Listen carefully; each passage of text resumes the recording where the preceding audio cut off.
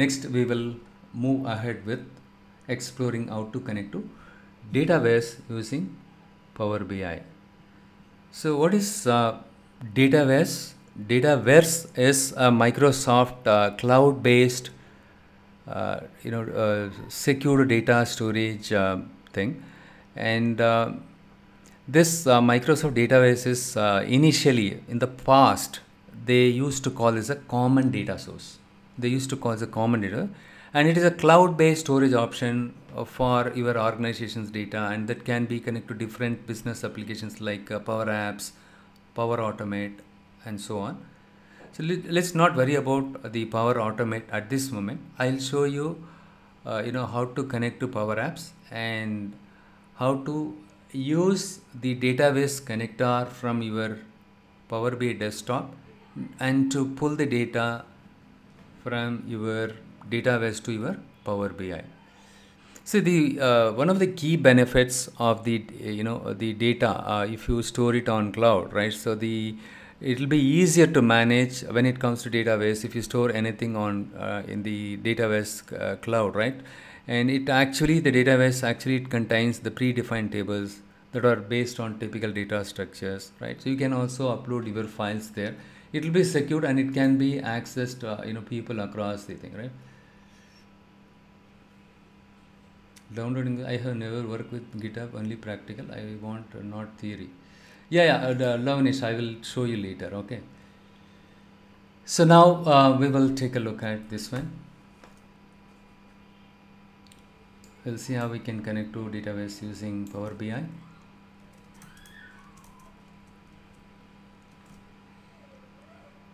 so not uh, this one the Dataverse okay? And uh, what i am going to do is first of all you need to sign up with power apps. We have something called power apps um, make dot powerapps.com you just type make dot powerapps.com it will take you to that website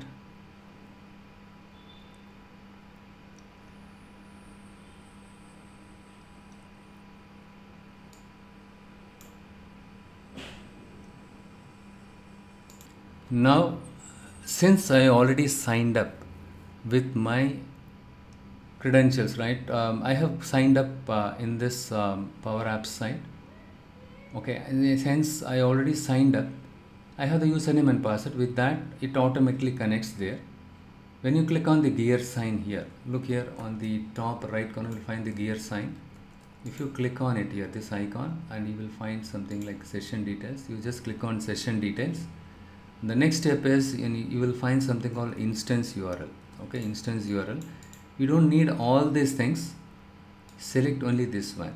Okay? You don't have to select https uh, colon forward slash. Simply select this right click on it copy and uh, head back to your power bi desktop. Power bi desktop did i close it? No. Okay it is there. For example if i go to get data you'll find Dataverse here. The alternately you can find it here also okay? You just go here and uh, click on the Dataverse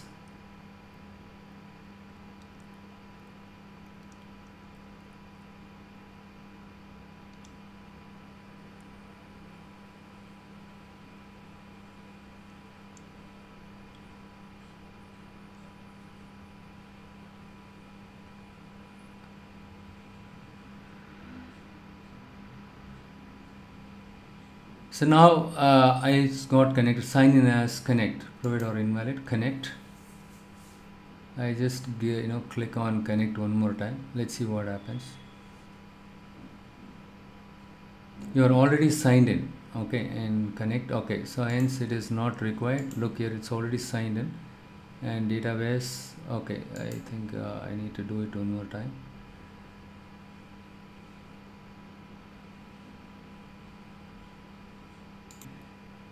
Please wait. Okay so this is the one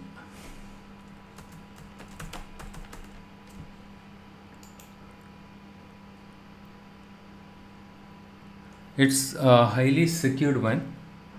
Uh, it sent a message to my mobile phone. One second let me check my mobile so you need to install something called microsoft authenticator in your google using your play store. I'll explain you, don't worry, okay, later. Because I don't want to mix so many things, okay, in one thing. Uh, let me just. Um,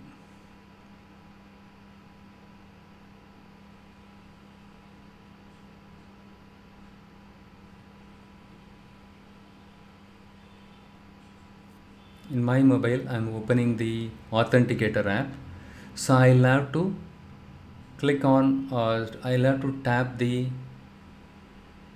approve one second I'm just unlocking my screen. It says oh my god it takes longer time. Yeah now it is open but um,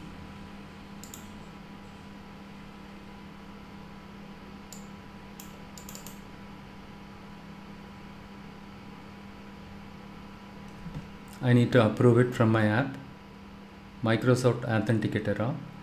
So next I just yeah it got approved. Now only it is connecting it. Connect um, waiting for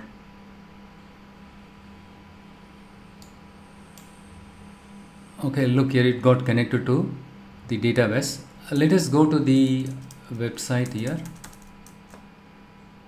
Close okay on the right side you can see the Dataverse on the power apps. Okay the when you expand when you click on this it will get expanded. Under Dataverse you can find the tables choices many things are there. When you click on the tables these tables were already created by someone else.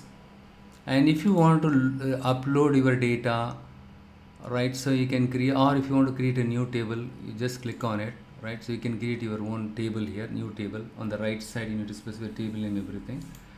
But again you need to have some kind of license thing. You need to purchase some license. Only then you can upload the data and all okay? And get data and all is there right? So using get data also you can upload it. But um, i tried it but it was asking for licensing thing. Since i don't have licensing but what we will do is we will simply reuse the tables that are already available the pre-existing tables. I just clicked on the tables. I could see all you know many tables or uh, you know these are the tables that are available already. So i want to see the account table in detail. I'll just click on the account table.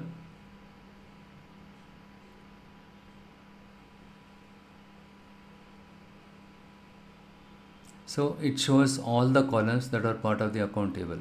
So th these many number of columns are there in the account table uh, next one is when you click on the relationship you will find you know when it got created and charts keys and data. If you want to see the data that belongs to account table you can see it. So the account name these are the account name and the main phone address city all these things are av available.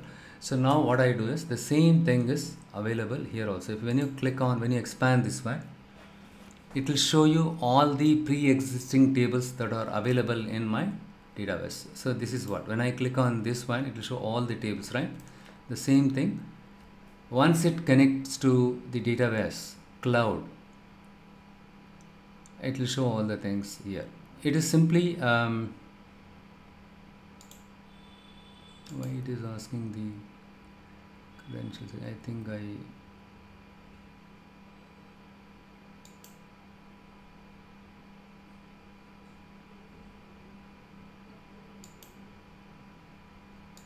I should not try different user. It will cause some problem. Anyhow let me do it one more time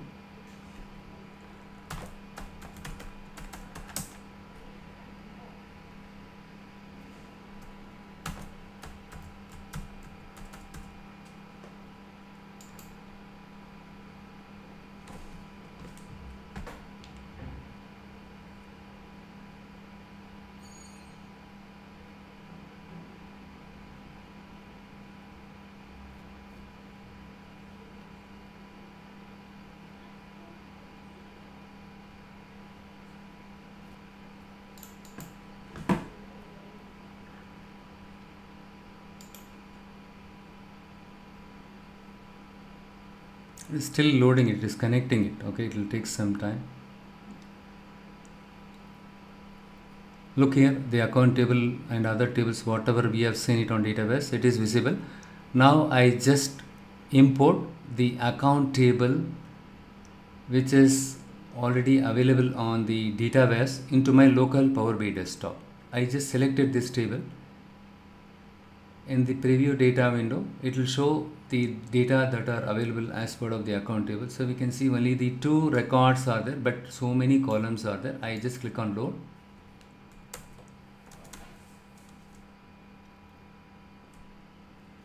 It is loading the data. So there are two options. It is, you know it is available to uh, you know to load the data into Power BI desktop. One is import, other one is direct query. Let us not uh, you know uh, worry about these things. Let us go by the default import mode. I will explain you little later about the these two types of uh, or uh, you know uh, these two types. In addition to that, there are another connectivity type is there live connection. We'll explain it little later. Okay. At this moment, I simply click on OK to import the data into my Power BI desktop from Dataverse. Just to import two re records from the cloud, it takes this much of time. If you have huge volume of data, it is not worthwhile downloading the huge volume of data into your Power BI desktop locally.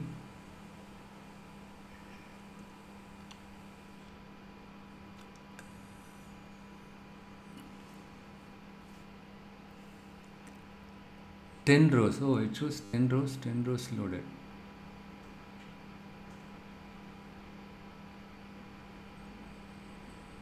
And if you see on the right side here the account table from the dataverse got imported successfully here. So when you expand this you will find all the columns that are part of this one. What I am going to do is I am going to use a visual called pie chart. I just clicked on it. The moment when I clicked on the pie chart just beneath this visualization pane it got you know drag it got dragged here now what I do is I just select I know few columns in this table already. So we have something called name. I just simply drag and drop it here. And then I have uh, something called number of staffs. Number of employees. I just put it here. Look here. Since the data I imported locally into my Power BI desktop it is faster. Performance is bit faster okay so this is basically to understand how to connect to cloud and uh, to import the data from the cloud. We have some other option. Uh, view I, I i believe most of you noticed the import also and direct mode also right? While extracting the data while before loading the data it was asking it was showing two options. One is the import the other one is direct. The import is the default one. When i clicked on uh, you know okay the entire 10 rows or whatever right? So it got imported locally into my Power BI desktop. We have another option called direct mode. So in that case we don't have to import the entire data locally. So instead when you create the visual something like this it will go and query directly your cloud. In that case you don't have to import the entire data locally. If you import the entire data and then if you uh, to you know bring in the values to your refreshing the data here and all it will take right a visual display and all takes some time. So instead directly you go there and take the data and then uh, you know do the display here visual display you do it here. That is a direct mode. Anyhow we'll, we'll take a deep dive to understand the different types of storage uh, little later. So that time you will be able to understand very clearly all these things. At this moment you just understand how to import from them from the Dataverse Microsoft Dataverse. And here you can all you need to just go to you know power apps site go to google and type power apps.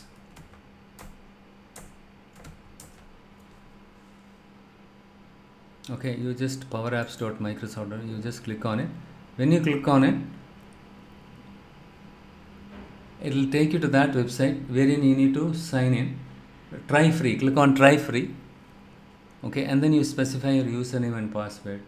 So once that has been created right? So you can you know sign in with that newly created credentials and you know test it whatever I taught you right? So you plan it, you you play around with it, okay?